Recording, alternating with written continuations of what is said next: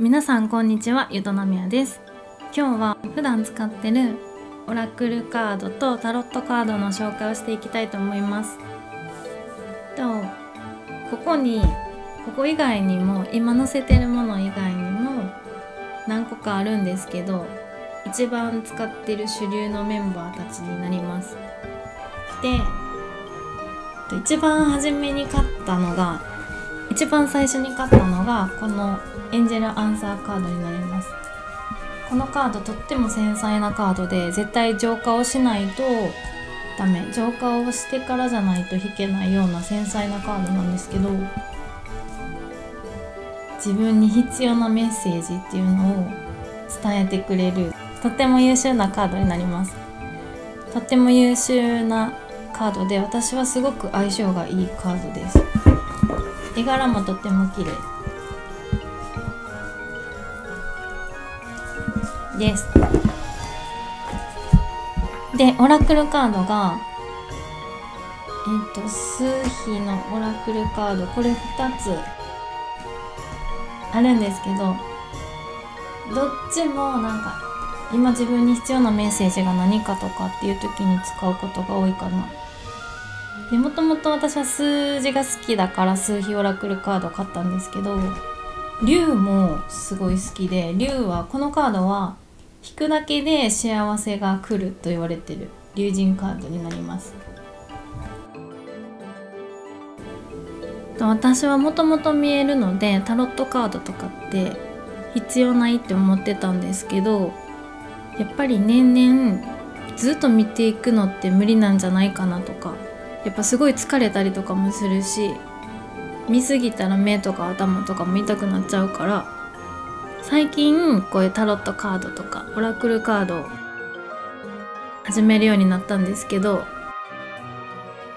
なのでご存知の方多いと思いますが参考書片手に解読はしてますけどやっぱり見える分すごく当たってるなって自分では思ってます。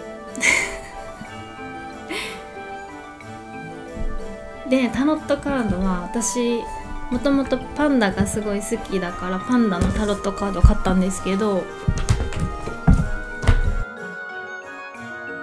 パンダのカード2種類ありましてこれどう違うかって言ったら大きさが違うだけなんですけど 大きさが違うだけになってて中身は全く一緒です。初めにこの大きい方買ったんですけどすごい相性が良かったんですよね。このパンダのカードってすごい私相性が良くて思なんかその霊視した答えと全く同じ答えが出るから私はすごいこのパンダのカードと相性いいなと思ってこれでねなんかタロット引いたりしていきたいなと思ってたんですけどなんせ大きいので、ま、持ち運びも不便17ライブとか TikTok ライブとかでって置いたらもう幅取る。全部映らない。あの5枚のカードとかで占うことが結構多かったりするんですけども5枚とか置いた時には、まあ、ギリギリですね。ギリギリです。ギリギリ映ってますけど。まあなんかもうちっちゃい方が便利かなと思ってちっちゃい方を買ってます。中身はめっちゃ一緒なんですよ。中身一緒やけどこのカードがめっちゃ好きですね。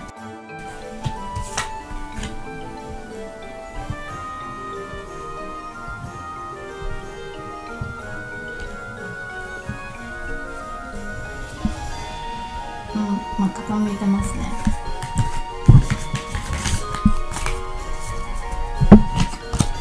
普段一番使うのが一番使うのがやっぱりこのパンダのカードですね。ずっと使ってる。このカード。でオラクルカードだったらこのエンジェルアンサーカードを使っている感じです。初めてそういうタロットとかオラクルカードとかを買おうかなって思った方はかタロットって結構タロットはもういろんなこと詳しく分かるしカードの枚数も多い分分かることも多いんですけど大変ですよね覚えたりするのが。まだ私覚えられてないですけど。ほとんど。まだ私はあんまり覚えられてないですけど。も簡単にできるのはオラクルカードですね。人によって合う合わないのカードがあるからいろいろ試してみる方がいいんですけどもし悩ん何買っていいかわからないとかだったらオラクルカードだったらこのエンジェルアーサーカードがおすすめです。あとなんか私ねあの最近めっちゃなんかこのカードめっちゃ気になると思ってカード買ったんですけどこのカードはこのカードは Amazon で買いましたね。なんかカードのカードのとこに意味って書い意味書いてくれてるからめっちゃ覚えやすいし分かりやすいんですけどカードの素材もするなんかすごいすべすべでねめっちゃ使いやすいんですけどでもなぜかピンとこず1回しか使ってなくって 1回しか使ってないんですね。でもこのタロットカードについてた参考書みたいな意味の本があったんですけどその本がすごい自分に合っててその本読んだらあこのカードの意味これやみたいな直感がすっごい働くんですよその文字が光って見えたりするから、まあ、このカードにご縁はなかったけどこのカードについてる参考書にご縁があって買ったみたいな感じのそういうカードになりますそういうのもあったりするし本当にいろんなカードがあるので是非一度見てみてください。本日の動画は以上になります。最後まで見ていただきありがとうございました。またねバイバーイ。